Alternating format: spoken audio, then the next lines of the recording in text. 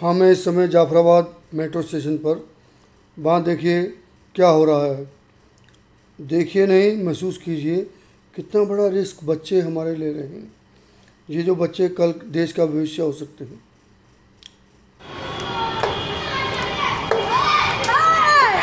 ये मस्ती ये